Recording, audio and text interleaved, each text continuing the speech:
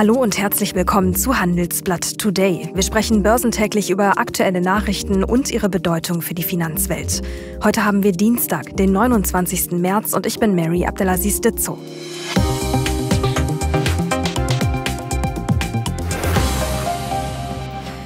Wahrscheinlich war es nur eine Frage der Zeit, bis Wladimir Putin zum wirtschaftlichen Gegenschlag gen Westen ausholt.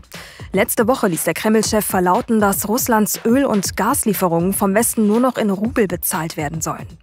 Ein smarter Schachzug, ohne Zweifel, denn so will Putin den Westen zwingen, seine eigenen Sanktionen gegen Russland zu umgehen.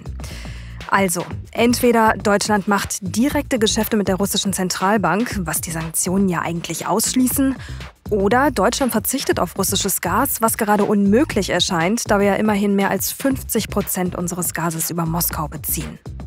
Ob sich Putin hier durchsetzen kann, das bleibt abzuwarten, aber die eine große Frage bleibt doch. Wie kann Deutschland unabhängig von russischem Gas werden? Darüber wollen wir heute mit Aurelie Bro sprechen. Wieder muss ich an der Stelle sagen. Erst letzte Woche hatte Frau Bro hier im Podcast über die politische Situation innerhalb Russlands gesprochen. Durch ihre Arbeit kennt die Energieexpertin viele Oppositionelle, denen sie gerade die Flucht aus Moskau ermöglicht. Wer dazu mehr wissen möchte, sollte unbedingt mal in die Folge vom 23. März reinhören. Heute ist Frau Bro allerdings als Energieexpertin hier bei uns im Podcast. Ihre Doktorarbeit damals, die schrieb sie bereits über die Exportstrategie von Gazprom. Ja, und anschließend war Frau Bro als Leiterin eines Forschungsprogramms zum Thema Energie und Erdöl an der Harvard University in Boston tätig. Woher Deutschland in Zukunft also sein Gas beziehen könnte, welche neuen Abnehmer Russland in Betracht zieht und welche Gasstrategie andere Großmächte dieser Welt verfolgen, das wollen wir heute mit ihr diskutieren. Und an der Stelle würde ich noch gerne kurz unser Probeabo erwähnen. Handelsblatt.com slash mehrfinanzen. Mit dem Link können Sie sich anmelden und alle Artikel auf unserer Webseite mal ein paar Wochen testen. Viele davon beziehen sich auf den aktuellen Krieg zwischen Russland und der Ukraine, gehen aber über die reine Nachrichtenlage hinaus. Heißt also ganz konkret, bei uns finden Sie auch Antworten auf die Fragen, was dieser Krieg mit unserer Wirtschaft macht und wie sich geostrategische Machtverhältnisse in der Welt verändern.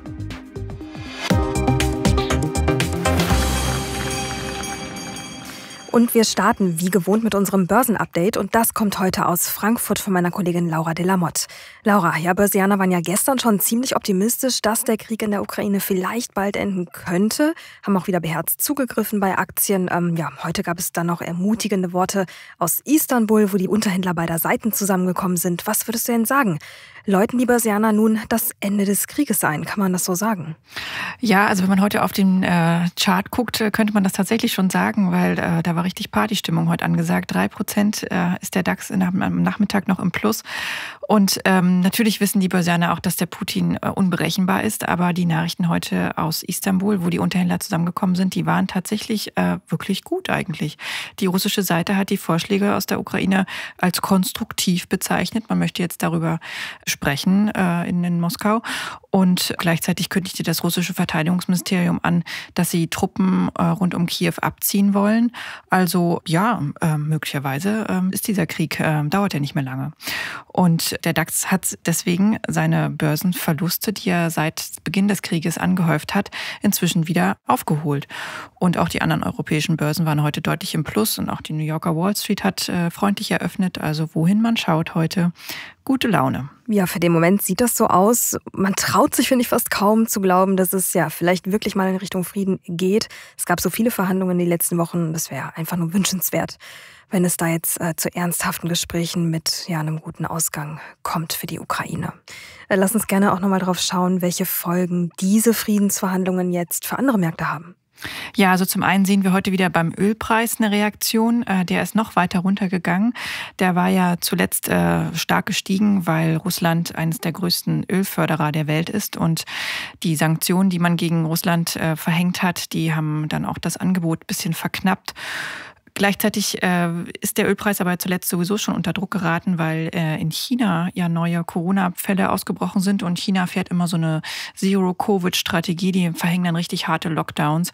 Und das hat natürlich dann auch Folgen für die lokale Wirtschaft dort. Und äh, auch China ist ein großer Abnehmer auf dem Weltmarkt. Und das hat den Preis zuletzt schon gedrückt, aber heute die Nachrichten rund um den Ukraine-Konflikt, die haben da also nochmal Druck rausgenommen. Und dadurch ist äh, der Ölpreis weiter gefallen.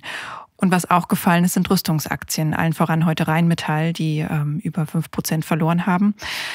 Das hat einfach den Grund, dass ähm, zuletzt waren die ja stark nachgefragt, als der Krieg ja so in vollem Gange war. Und ja, wenn sich jetzt tatsächlich ein Ende abzeichnen sollte, dann äh, wird wahrscheinlich die Nachfrage nach Rüstungswerten erstmal zurückgehen. Wie sieht das denn mit Russland aus? Also profitiert Russland davon? Ja, auch Russland profitiert äh, von den äh, fortschreitenden Friedensverhandlungen. Die Börse in Moskau, die hat heute 10 Prozent zugelegt. Auch russische Staatsanleihen sind wieder gefragter. Und auch der Rubel hat heute aufgewertet, wobei das nicht unbedingt äh, an den Friedensverhandlungen liegt, sondern eher an der äh, Politik, die Russland zuletzt da gefahren hat.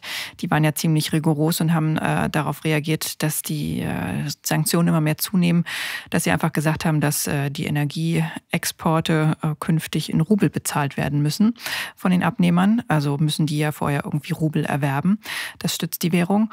Und gleichzeitig haben sie die Exportfirmen verpflichtet dazu, ihre eigenen Devisenbestände zu 80 Prozent in Rubel zu tauschen. Und auch das hat natürlich die äh, Währung gestützt. Okay, das hört sich jetzt erstmal nach äh, in Summe vielen Nachrichten an, die für viele Seiten etwas Gutes bedeuten könnten. Jetzt muss man aber auch, finde ich, ganz klar an der Stelle sagen, ne, selbst wenn dieser Krieg morgen enden sollte, ist natürlich die Welt nicht wie vorher. Das wird sie, glaube ich, ganz lange auch nicht werden. Ähm, ja, Stichwort Konjunktur. Was würdest du denn sagen, all das, was gerade passiert und auch die Auswirkungen, die dieser Krieg auf wirtschaftlicher Ebene hat, ja, also die ganzen Sanktionen gegen Russland und so weiter, wie wirkt sich das aus?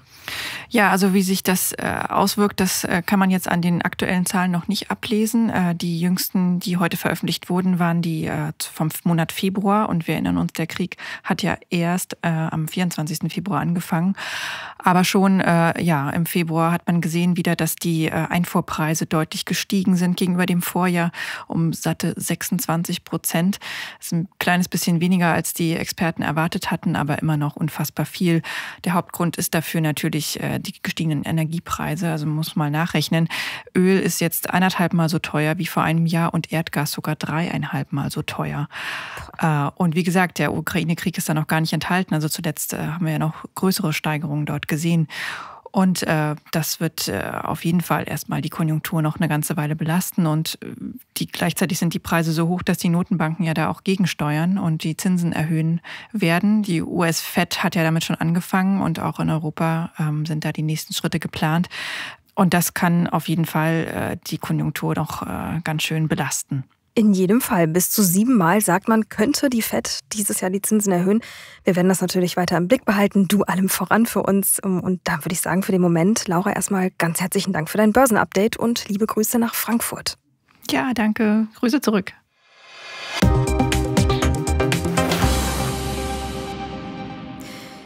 Liebe Hörerinnen und Hörer, wie Sie sicher gemerkt haben, passen wir unser Programm in diesen Zeiten der aktuellen Lage an. Wir sind und bleiben natürlich der Podcast, der über Nachrichten und deren Auswirkungen auf die Finanzwelt berichtet, möchten Sie aber auch politisch über das, was gerade in Russland und der Ukraine passiert, auf dem Laufenden halten. Denn es sind am Ende Themen, die uns direkt betreffen und natürlich auch sehr bewegen. Wenn Sie unseren Podcast also unterstützen möchten, können Sie das tun, indem Sie uns bewerten, auf Spotify oder Apple Podcasts zum Beispiel. So haben wir die Möglichkeit, weitere Menschen auf unser Programm aufmerksam zu machen. Und damit kommen wir dann auch zum heutigen Schwerpunkt. Europa soll, will und oder muss, je nach Sichtweise, unabhängig von russischem Öl und Gas werden. Nur wie kann das gelingen? Welche Gasstrategie verfolgt Russland und wie positionieren sich andere Großmächte der Welt in diesem geopolitischen Konflikt? Das besprechen wir jetzt mit der Energieexpertin Aurelie Bro. Frau Bro, ja schön, dass Sie heute nochmal bei uns hier zu Gast in der Sendung sind. Heute wollen wir ja ganz konkret über Energie, über Gas und Öl und so weiter sprechen, weil das im Grunde auch Ihr Schwerpunkt ist. Äh, lassen Sie uns gerne mal starten mit Russland. Russland will Gaslieferungen bald wohl nur noch in Rubel bezahlen lassen. Erstmal klingt das nach einem ganz klugen Schachzug von Putin. Allerdings muss man auch sagen, bislang sind das nur Worte des Kreml-Chefs. Umgesetzt wurde da ja noch nichts. Was glauben Sie, wie kann und wie muss der Westen hier reagieren? Ähm, in meinen Augen wäre das ein riesiger Fehler der EU, sich hierauf einzulassen. Putin blufft im Zweifel. Er ist genauso auf die Einnahmen angewiesen wie Europa auf die Energie. Mhm. Und ich würde ihr sehr dazu raten, auf die Erfüllung der Verträge zu pochen, welche in Euro abgeschlossen sind. Wenn Putin damit bei einen Ländern durchkommt, treibt er erfolgreich einen Kiel zwischen die EU-Länder und Putin versteht nur Stärke. Diese sollten wir jetzt geschlossen demonstrieren. Und Außerdem über meine Kontakte in, in Moskau habe ich auch so verstanden, dass die Idee nicht gut angekommen ist. Hm, nicht gut angekommen heißt, es ist auf ziemlich viel Gegenwind gestoßen. Ah, nicht gut angekommen heißt, ähm, viele Businessmen sind äh, extrem so misstrauisch und denken, dass ein paar Berater von Putin, die nicht immer so eine gute Verständnis von Energie haben, kommen mit merkwürdigen Ideen vor, die langfristig Gazproms Businessmodell sehr stark so belasten könnte, fast zerstören könnte. Trotzdem würde ich gerne noch mal von Ihnen wissen, wenn man jetzt doch dazu käme, zu einem Gasembargo, für wen wäre der Schaden am Ende denn wirklich größer? Das hört sich jetzt so an, als wäre der Schaden für Russland größer als der Schaden für Europa. Also kurzfristig, das wäre natürlich ein Problem für die EU, die immer noch stark abhängig ist. Langfristig, das wäre natürlich ein, ein riesiges Problem für Russland. Natürlich, so China wird immer wichtiger und wichtiger, äh, besonders in der Erdöl- und Erdgasbranche. Chinas Bedeutung als Abnehmer wächst und Indien hat auch Interesse an russischen Energie geäußert, das ist schon klar. Es wird dort zu zwei Handelsblocken kommen und das Decoupling der autokratischen oder armen Länder von den sogenannten westlichen Demokratien vorantreiben, hm. langfristig. Vielleicht ähm, müssen wir da auch noch mal ein bisschen mehr über die Sanktionen sprechen. Wie hat es Russland bisher eigentlich geschafft, die Sanktionen zu umgehen? Die Energiesanktionen hatten nicht die gewünschte Wirkung, ähm, weil Russland mit einer neuen Strategie begann, die ich äh, in verschiedenen Veröffentlichungen so erforscht habe. Das ist die Entwestlichung, die Westernization. Und das ist eine Strategie, die auf vier Säule aufgebaut ist. Also worum geht es? Äh, erstens Hinwendung Richtung Asien. Äh, das heißt Zusammenarbeit mit asiatischen Finanzinstituten, Stärkung der Handelsbeziehungen mit der Region, Beziehen von Technologie, die in dieser Region produziert wird. Und Ziel ist vor allem eine Annäherung an China. Äh, zweitens Stärkung der Zusammenarbeit mit nicht westlichen Finanzinstituten, äh, Asian Infrastructure Investment Bank, New Development Bank und so weiter und so fort. Und Ziel ist es, äh, neue Finanzallianzen zu schaffen, die nicht vom Westen dominiert werden. Mhm. Drittens Reduzieren der Abhängigkeit von westlicher Technologie im Energiesektor, äh, Entwicklung russischer Technologie und Schaffung eigener Forschungszentren in den Bereichen, in denen Russland schlecht aufgestellt ist. Und bisher war Russland in dieser Branche nicht so erfolgreich und das hat nicht wirklich mit Sanktionen zu tun, sondern mit strukturellen Problemen der russischen Wirtschaft. Und viertens, Dedollarization. Ähm, Verwenden von so wenig US-Dollar wie möglich, äh, Suche und Einsatz von alternativen Währungen, anschließend Euro und Ziel ist, das amerikanische Finanzsystem zu umgehen und damit auch äh, sekundäre Sanktionen abzuwenden. Und es ist sehr schwierig im Ölsektor, im Gasbereich jedoch einfacher umzusetzen. Und deswegen sind heute auch so die Verträge mit Gazprom äh, im Euro. Und mal schauen, ob der West äh, den Vertragsbruch von Putin einfach so hinnimmt, dass Energie künftig in Rubel bezahlt werden soll. Jetzt haben Sie hier gerade einen Plan skizziert in vier ähm, Abstufungen, der sich schwer danach anhört, dass das Ganze über Jahre hinweg ja von Russland auch geplant wurde. Also nichts, was jetzt in den letzten Wochen entstanden ist. Ähm, vielleicht können Sie das nochmal so ein bisschen einordnen. Das äh, übersetzt sich für mich so, als wenn Russland seit Jahren plant, unabhängig zu werden von ähm, der wirtschaftlichen Verbindung zum Westen. Äh, nee, nee, nee. Das ist ein langfristiges Prozess und es hat wirklich so 2014 nach der Annexion von dem Krim angefangen. Äh, die Einführung von, äh, von Sanktionen hat dafür gesorgt, dass äh, die Energiestrategie in Russland sich komplett verändert hat. Und man sieht, dass es immer noch so weitergeht. Ja, also das ist immer so eine, diese Spaltung zwischen dem West und Russland, so in der Energiebranche wird immer so stärker und stärker und stärker. Andererseits, wenn ich jetzt nochmal ja, an Nord Stream 2 denke, da ist es ja eigentlich genau andersrum, oder? Also, da, also bei Nord Stream 2 haben sich ja die Verbindungen, die wirtschaftlichen gestärkt zwischen Russland und Europa. Also das ist, ja, das ist eine äh, sehr gute Frage. Ich glaube, man muss von der Nord Stream Saga reden, 1, 2, 3, um äh, die Frage zu beantworten. Es ist auch ein langfristiges Prozess. Nord Stream 1 wurde zu einer Zeit konzipiert, als Europa wegen der Zuverlässigkeit der Ukraine misstrauisch war. Und die Energiekrisen zwischen Kiew und Moskau in der 2000er Jahren beruhigten äh, die EU, die sich so deswegen Sorgen um die Energiesicherheit so machte. Und so erhielt dieses von Deutschland geleitete Projekt europäische Unterstützung. Und Ziel war eine Diversifizierung der Transportwege und dadurch weniger Abhängigkeit von der Ukraine. Weiterhin sollten neue Gasfelder in Russland an den EU-Markt angeschlossen werden. Das war die Logik der Zeit und die EU hat mitgemacht. Mhm. Und Deutschland hat eine offizielle Unterstützung von der EU bekommen. Nord Stream 2 beruft sich auf die gleiche Logik. Die EU leistete jedoch keine Unterstützung. Für Brüssel hatte es äh, Priorität, die Quellen zu diversifizieren. Und in Nord Stream 2 wurde eine gefährliche Abhängigkeit äh, von Russland gesehen und eine Möglichkeit für Russland, die Ukraine und noch eventuell Polen zu erpressen. Und das Projekt wurde so zum Zahnkapfel. Und das hat im Besonderen Putin gefreut teile und herrsche. Das, das ist wirklich so Wladimirs Putin-Motto.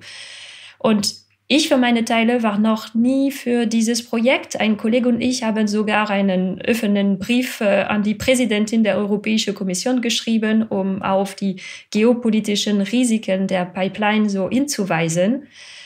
Und im Februar 2020, als ich das letzte Mal in Moskau gewesen bin, sagte mir ein deutscher Manager, dass sie an der Planung von Nord Stream 3 arbeiten. Das war ein Schock. Und ich wusste, dass Gazprom von diesem Projekt träumte, das war mir klar, aber ich hätte nicht gedacht, dass einige Europäer so weit gehen würden. Und Nord Stream, 2, Nord Stream 3 Entschuldigung, wäre ein gigantischer Affront in Richtung Brüssel, Paris, Washington und Warschau gewesen. Hm. Aber ich glaube, wir müssen hier einmal noch mal eine Verbindung herstellen, weil einerseits haben Sie ja selber gerade auch erklärt, dass Russland sich seit Jahren versucht, unabhängiger vom Westen zu machen. Und andererseits äh, Nord Stream 2, jetzt sagen Sie sogar Nord Stream 3, das ist ja wieder das Gegenteil. Wie kann man das einordnen? Wie können wir das verstehen? Einerseits weiß Russland, dass die äh, Erdgasproduktion in der EU sinkt. Äh, Niederland produziert äh, nicht mehr. Äh, ne, die, die Quelle in Norwegen sinken. Also das ist schon klar. Sie wissen, dass die, äh, die Abhängigkeit steigt in Europa. Und die Energiewende ist auch nicht so schnell, wie wir uns das wünschen. Das heißt, eine Teile der Strategie sorgt dafür, dass Russland weiter exportieren kann in der Zukunft.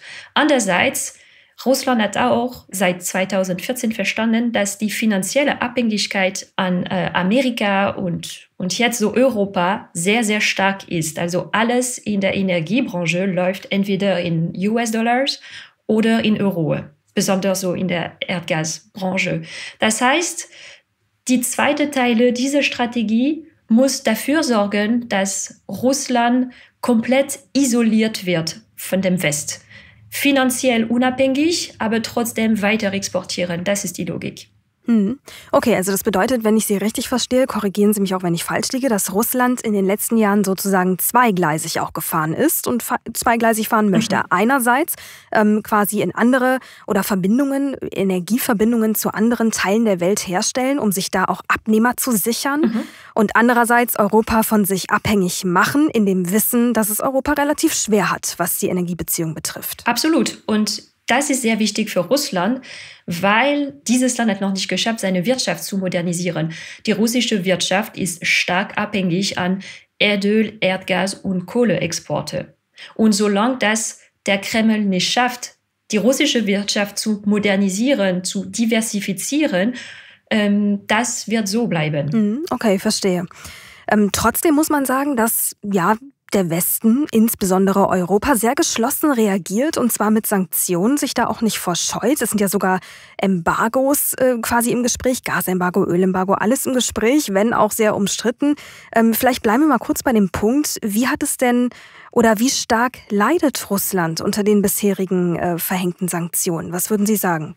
Also Russland ist stark getroffen. Die Wirtschaft ist ein bisschen am Wackeln gerade und äh, die Werte von dem Rubel sinkt äh, regelmäßig. Das Problem hat damit zu tun, dass die Energiekonzerne vor dem Krieg eine gewisse Rolle äh, gespielt haben. Die Erdölkonzerne haben immer viel Steuer bezahlt und dieses Geld so wurde benutzt, um die Politik des Kreml so weiterzuführen. Mhm. Im Gegensatz haben immer die Erdgaskonzerne wie Gazprom so weniger bezahlt aber sie hatten eine Pflicht. Diese Konzerne sollten die äh, Sozialpolitik in diesem Land führen. Äh, alles, was so manchmal so Familie betrifft, äh, Sport für junge, junge Leute, Kunst äh, und so weiter und so fort. Und wenn die Situation sich weiterentwickelt und Worst-Case-Szenario für, für Russland ist natürlich so ein Embargo in dem Energiesektor, das könnte die Wirtschaft komplett so durcheinander bringen, aber das könnte auch die Russen stark treffen. Die Gesellschaft, meine ich. Ja, verstehe. Das heißt, auch die Gesellschaft, die verschiedenen Ministerien in Russland sind sehr abhängig vom Energiesektor, weil der Energiesektor einfach die zentrale wirtschaftliche Mitte Russlands sozusagen bildet, also sehr viel Einfluss und sehr viel Macht hat. Absolut. Das bedeutet natürlich auch, dass Russland stark darauf angewiesen ist, das haben Sie ja auch gerade schon erklärt, sich gegebenenfalls neue Abnehmer zu suchen ähm, für seine Energiereserven. Das tut Russland bereits seit einigen Jahren. Da würde ich jetzt gerne einmal genauer auf China und Indien zu sprechen kommen. Also vielleicht noch mal kurz zur Einordnung. Hierzulande heißt es des Öfteren, dass ein Gasembargo zumindest von europäischer Seite wesentlich schwerer durchzusetzen wäre als zum Beispiel ein Ölembargo. Andersrum ist es natürlich so, bei einem äh, Ölembargo ist es vielleicht leichter, das müssen Sie jetzt einmal erklären, für Russland, für Putin und den Kreml, das Öl via Tanker in andere Länder zu exportieren, nach Indien zum Beispiel. Und wir haben ja diverse Nachrichten in den letzten Wochen gehört, dass Indien gar nicht so abgeneigt ist. Also wie hoch ist die Chance, dass Russland sein Öl in Zukunft mit Tankern nach Indien liefert und dann vielleicht sogar noch mehr Geld verdient als derzeit mit uns? Gute Frage. Ähm, also natürlich, da, äh, Russland wird versucht, so neue Wege zu finden, so äh, wichtige Märkte zu erreichen. Äh, so einfach ist es aber nicht. Zuerst wegen Sanktionen, besonders so die äh, primär- und sekundäre Sanktionen aus Amerika, die manchmal so Energietransporte und Energieinfrastruktur so ähm, versichern. Also man braucht immer so eine Versicherung und ganz oft diese Versicherungen sind immer in US-Dollars. Das ist nicht so einfach, so umzugehen. Zweitens, die Sanktionen, die 2014 eingeführt wurden, wirken auch. Ähm, also viele kritisieren diese Sanktionen und sagen, die waren nicht stark genug, aber die wirken trotzdem. Und man bemerkt das in der äh, Exploration and Production. Es gab so drei Regionen, die zu der Zeit für Russland sehr wichtig waren und die immer noch wichtig sind. Äh, sie haben eine strategische Bedeutung. Das ist die russische Arktis, das Kaspische Meer und äh, Schiefervorkommen. Und die meisten Vorkommen, die den europäischen Markt versorgen, wurden bereits während der Sowjetunion erschlossen. Und die Lagerstätten sind fast leer und neue müssen erschlossen werden, um weiterhin mhm. nach Europa und auch Asien äh, zu exportieren und die erhebliche nationale Nachfrage äh, des russischen Marktes zu befriedigen. Das heißt, wenn Russland weniger produzieren kann, kann auch Russland nicht so viel exportieren. Das hat einen Dominoeffekt. Okay, also das bedeutet, ähm, so einfach ist es für Russland dann doch nicht, jetzt sozusagen das Öl auf die Tanker zu packen und dann nach Indien zu verschiffen. Nee, nee, so einfach ist es nicht. Wegen Versicherung, wegen Produktion. Und Indien hat auch so besondere so Beziehung mit, äh, mit dem West. Und die Frage ist, ob sie so ein Risiko angehen möchten. Wer könnte denn dann einspringen? Also China haben Sie gerade auch schon angesprochen, haben aber auch gesagt, dass quasi Beziehungen ähm, mit China, Energiebeziehungen mit China genauso schwer sind für Russland wie Energiebeziehungen mit Europa. Die Beziehungen sind extrem schwierig. China ist sehr anspruchsvoll und äh, China beobachtet auch, was zwischen Europa und Russland passiert. Und China hat keinen Bock auf eine sehr, sehr große Abhängigkeit an Russland. Das heißt, China führt auch eine, eine Diversifizierungsstrategie und will überhaupt nicht zu viel an einem Land abhängig werden. Das bedeutet aber jetzt in Summe als kleines Zwischenresümee, dass es schon ganz schön schwierig für Russland. Ja? Also einerseits ein Land mit sehr hohen Energiereserven und andererseits gar nicht so leicht, hier geostrategisch Abnehmer zu finden und sich vom Westen zu lösen, wenngleich das ja schon der Plan ist. Also eine Zwickmühle irgendwie. Absolut. Äh, das ist nicht so bequem für den Kreml, aber das war auch der Wunsch von Europa und von Amerika. Also äh, der Kreml soll sich gerade nicht so bequem machen. Und ich habe immer gehört, so, ja, die Russen spielen Schach und äh, die haben diese krasse strategischen Gedanken. Ich glaube, dass sie gerade mehr Poker spielen. Und dann ist aber die Frage, ja, wer hat das höhere Blatt? Ah, das ist schwer zu sagen. Ähm, ich glaube, das Hauptproblem in Europa, also ich kann nicht von Amerika reden, da ich gerade in Europa bin und kann ein bisschen so die Stimmung in Europa spüren, aber wenn Europa hört auf, immer Angst zu haben, kann Europa viel verändern. Also vielleicht müssen wir einfach so aufhören, so Angst zu haben und äh, vielleicht so akzeptieren, äh, es ist gerade ein Krieg und wir müssen einfach so ein bisschen mutiger sein. Wie würden Sie denn jetzt mutiger definieren? Also was müsste Europa, sollte Europa tun? Also ich glaube, ähm, wir müssen zusammenhalten. Und wenn es, also dieser Podcast ist für Deutschland, also ich glaube so, die Position für Deutschland gerade ist extrem unangenehm. Die Leute verstehen, dass die Politik, die seit Jahren geführt wird in der Energiebranche, nicht optimal ist, wenn ich so ausdrucken darf. Es gibt so wirklich so ein Problem für die Industrie. Also die Industrie äh, ist stark abhängig an Erdöl, Erdgas und Kurzfristig ist es nur möglich, maximal viel aus äh, LNG-Exportländern zu importieren. Katar hat hierbei eine Schlüsselrolle. Aber das löst das Problem nicht und die Energiemengen aus Russland sind einfach zu groß gerade. Ich würde gerne einmal noch auf den Punkt zurückkommen. Sie haben ja Katar gerade angesprochen. Ich meine, vielleicht ja, lenken wir die Perspektive jetzt einmal um. Was, was würden Sie denn sagen? Also wie kann Europa unabhängiger werden von russischem Gas? Wie muss sich Europa mit Blick in die Zukunft aufstellen? Ich meine, Robert Habeck war ja zum Beispiel auch schon für Deutschland stellvertretend in Katar letzte Woche und hatte einen Anfang gesetzt, wohl wissend, dass wir natürlich nicht die einzigen Bittsteller sind und Katar eben weder sofort noch in großen Mengen liefern kann und will. Also deswegen vielleicht jetzt mal von Ihrer Seite skizziert mit Blick auf Europa, welche Energiequellen bleiben uns? Ja, also Stichwort Nahe Osten, USA und so weiter und so fort. Für die EU, ähm, also die USA können die EU helfen. Das ist klar. Äh, das Land will anscheinend in diesem Jahr gemeinsam mit internationalen Partnern ungefähr 15 Milliarden Kubikmeter Flüssiggas zusätzlich in die EU liefern, äh, um russische Gasimporte zu ersetzen. Und langfristig soll die Menge auf 50 Milliarden Kubikmeter pro Jahr ansteigen. Und dieses würde allerdings nur 25 Prozent der russischen Erdgasexporte in die EU substituieren. Das ist äh, keine Lösung. Ähm, das löst nicht alles. Und am Ende wird man neben Effizienzmaßnahmen entweder Atom, Kohle oder erneuerbare Energien massiv ausbauen müssen, um mittelfristig eine halbwegs bezahlbare Energieversorgung der EU sicherstellen zu können. Und das ist natürlich ein sehr, sehr, sehr heikles Thema für Deutschland im Kontext von Atomausstieg äh, und äh, natürlich so Kohle ist auch nicht optimal für, äh, für das Klima. Und äh, das ist so äh, Tanz auf dem Vulkano, wie man sagt. Aber es gibt einen wichtigen Punkt, das ich so vielleicht so äh, erwähnen könnte. Ähm, das ist die EU-Solidarität. Seit der russisch-ukrainischen Krise von 2009 hat die EU das europäische Gas- und, und Stromnetz äh, kontinuierlich gestärkt. Und Stichwort Reverse Flows. Die Kapazität, so Erdgas in jede Richtung so ähm, liefern zu können. Und seitdem kann Deutschland Gas aus anderen europäischen Staaten empfangen.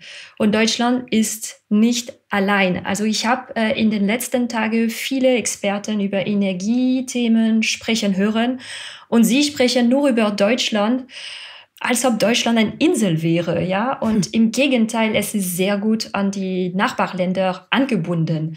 Äh, in Deutschland wird fast immer vergessen, dass Energiesolidarität eine gesetzliche Verpflichtung ist. Äh, Mechanismen zu äh, gegenseitigen Unterstützung würden auf EU-Ebene eingerichtet vor Jahren. Und heute müssen wir das Problem auf europäischer Ebene lösen. Kein Mitgliedstaat wird dies allein tun können. Okay, aber das ist ja schon mal, das ist ja endlich mal was Gutes in Bezug auf Europa. Man muss ja wirklich sagen, die ganzen letzten Jahrzehnte, da war das Gemecker an einigen Stellen auch groß, weil es hieß, wir sind, ähm, wir sind Europa und machen eigentlich viel zu wenig zusammen und äh, müssen auf verschiedenen Ebenen einfach, ja, ich sag mal, souveräner und auch eigenständiger dann werden. Das heißt, in dem Fall scheint uns das ja laut Ihrer Aussage gerade auch äh, gelungen zu sein, mit Blick auf die letzten Jahre, dass man eben die Infrastruktur ähm, mehr so geschaffen hat, dass wir wir innerhalb Europas die Energiereserven teilen können, also einander abgeben können, wenn wir sie brauchen. Äh, absolut. Die Politik, die seit Jahren geführt wird, äh, funktioniert. Also das wirkt und äh, wir sehen das äh, in, in, in dieser Zeit. Vielleicht, das ist äh, sehr gut für die Länder, die immer so, die EU-Mitgliedstaaten, die immer so skeptisch waren. Äh, in der Zukunft, man könnte sich auch so fragen, ob wir nicht so äh, Brüssel fragen könnte, die Erdgas Einkäufe zu schaffen. Also nicht nur auf, auf nationaler Ebene, sondern auf EU-Ebene. Und danach wird es so zwischen EU-Mitgliedstaaten geteilt. Also das wäre auch eine Option in der Zukunft, da wir uns äh, so schützen müssen. Und in dem Fall von Deutschland, vielleicht kann man so ein paar Fragen stellen. Zum Beispiel, ähm, es wurde immer gesagt, dass der Markt könnte alles regeln. Und gerade sehen wir, dass, dass es einfach nicht möglich ist. Ja, also Deutschland war auch extrem skeptisch für äh, die Regulierung von äh, Erdgasspeichern das Land muss sich noch einmal so überlegen, ob diese ähm, Mindset immer noch so relevant ist. Und die Zusammenarbeit natürlich mit anderen EU-Mitgliedstaaten äh, ist äh, extrem wichtig für die Energieversorgung äh, der EU in der Zukunft. Mhm. Ja, sie, sie öffnet andere Türen. Also man muss auch sagen, die EU vorbereitet sich äh, für dieses Moment seit Jahren. Es gibt eine Regulierung äh, in der EU, die jedes Jahr so ein bisschen so umgeschrieben wird. Jedes Jahr die EU macht so, was wir nennen auf Englisch äh, Stress-Test. Man guckt so in jedem Land, was passiert, wenn eine Infrastruktur fehlt, ausfällt. Also aus politischen Gründen oder technischen Gründen. Das kann auch passieren, dass etwas so kaputt geht. Und man guckt so, was passiert. Und äh, im Winter, am Anfang des Winters und am Ende, weil natürlich die Speichern so äh, am Ende des Winters leer sind. Und das Gute, gerade äh, der Winter ist langsam vorbei. Äh, normalerweise müssen die Leute auch weniger hitzen. Und diese Stresstests, die sind jedes Jahr geführt. Und es gibt ein Szenario, was passiert, wenn plötzlich auf einmal Russland aufhört, so Erdgas zu liefern. Und die Stresstests vom letzten Jahr waren nicht so schlecht. Also man muss sagen, diese langfristige Vorbereitung der EU war gut. Und also ich sage nicht, dass äh, das alles äh, sehr, sehr gut so laufen wird, so wenn, wenn sowas passiert, aber zumindest, also wir, wir sind bereit. Also die Infrastruktur ist da, die Verbindungen zwischen EU-Mitgliedstaaten existieren und es gibt auch so eine, eine Reihenfolge, was passiert, wenn äh, nicht genug Erdgas gibt. Und es gibt eine Reihenfolge und jedes Land muss mit seinem Nachbarländer ein Abkommen so äh, vereinbaren. Also zum Beispiel in dem Fall von Deutschland, es gibt so ein Abkommen mit Frankreich, mit Niederland, mit Polen mhm. und so weiter und so fort. Ja, und diese Unterstützung soll sich so aktivieren. Die Frage ist so, wie schlimm die Krise ist, weil ähm, natürlich am Ende das kann dafür sorgen, dass wenn das ganz schlimm ist, äh, die Schule machen zu oder sowas. Also so weit sind wir noch nicht, aber es gibt eine gewisse Reihenfolge, es gibt ein Protokoll. Verstehe. Frau Bro, das war wirklich sehr, sehr informativ. Ich habe ganz viel gelernt heute. Ich würde auch gerne noch drei Stunden mit Ihnen weitersprechen, wenn ich ehrlich bin, weil es so ein riesengroßes Thema ist. Leider sind wir jetzt schon wieder ähm, ja, über unserer Zeit und deswegen würde ich es an der Stelle einmal beenden. Möchte mich aber ganz, ganz herzlich bedanken. Man merkt auf jeden Fall, dass Sie Professorin sind, dass Sie Studentinnen und Studenten aufklären über dieses Thema und ja, wer weiß, vielleicht sprechen wir uns ja in Zukunft nochmal wieder hier im Podcast. Ganz herzlichen Dank für Ihre Infos. Merci, schönen Tag.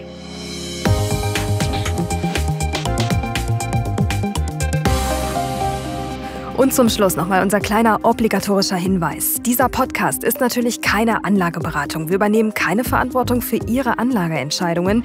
Also bitte informieren Sie sich an mehreren Stellen, bevor Sie anfangen mit Aktien oder mit anderen Anlageklassen zu handeln.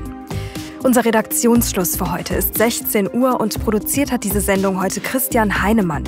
Wenn Sie uns zu dieser Folge Feedback geben möchten, schreiben Sie uns gerne eine E-Mail an today@handelsblatt.com. So viel von uns. Ihnen wünschen wir jetzt einen entspannten Feierabend oder wenn Sie uns morgens hören, starten Sie gut in den Tag. Bis bald.